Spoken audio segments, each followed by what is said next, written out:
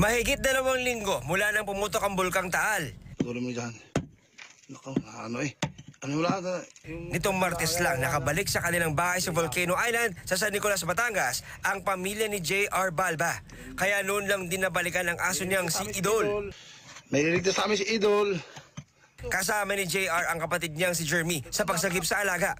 Pero ang aso nag-aalangan lumabas. Idol, labas. Idol, labas. Yo.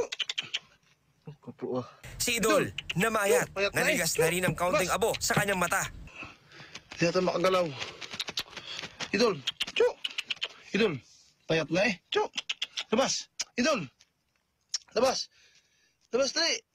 Pero tila natakot ang aso. Kaya para masagip, hinila ito papalabas ni Jeremy.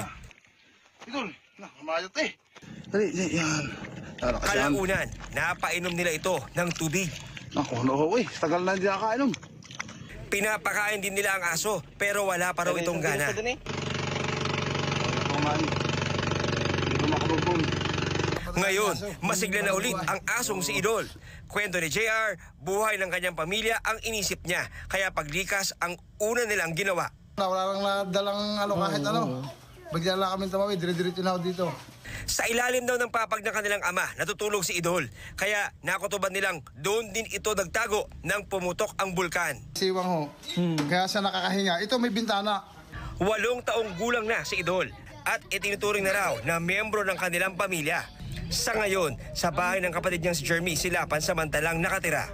John Consulta, GMA News.